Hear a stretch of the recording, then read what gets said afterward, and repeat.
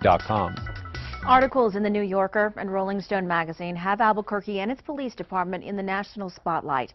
Yesterday, we sat down with District Attorney Kari Brandenburg to discuss the articles and her connection to APD.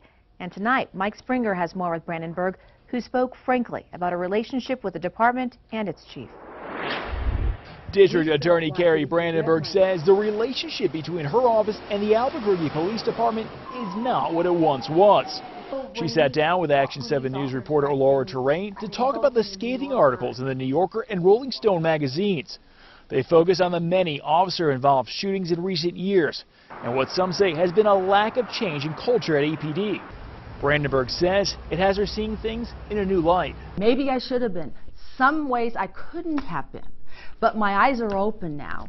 Um, I see the bigger picture. but Brandenburg and the police department have been at odds of late.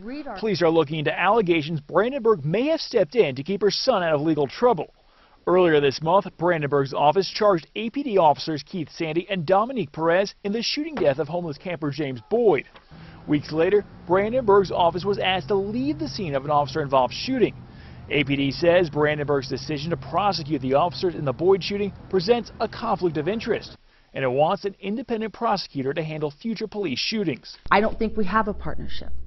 I don't think we had one. I wanted to believe we did, but we don't. Brandenburg said she's only talked to Chief Gorden Eden twice in the past year. With former chiefs, Brandenburg says they would talk several times a week, if not daily. I don't think we have courageous leadership uh, in the police department. And it breaks my heart to say that because I know there were times that we did have courageous leadership. Brandenburg says she'd like to sit down and talk with Chief Eden and says there needs to be honesty and transparency if things are going to change. She also admits she's made some enemies, but says she also understands what that could mean for her. Yeah, it comes at a price. I have paid a price already for taking this stance. I will continue. It's a price I'm ready to pay. It's a price I agreed to pay when I was elected. Chief Gorden Eden released this statement in Eden says he's concerned and disappointed in the DA's comments. He says it's unfortunate that the DA hasn't expressed those concerns to him directly. Back to you. Okay, thanks, Mike. Since 2012, the city has paid out more than $11 million in settlements, judgments, and legal fees, and there are more cases pending.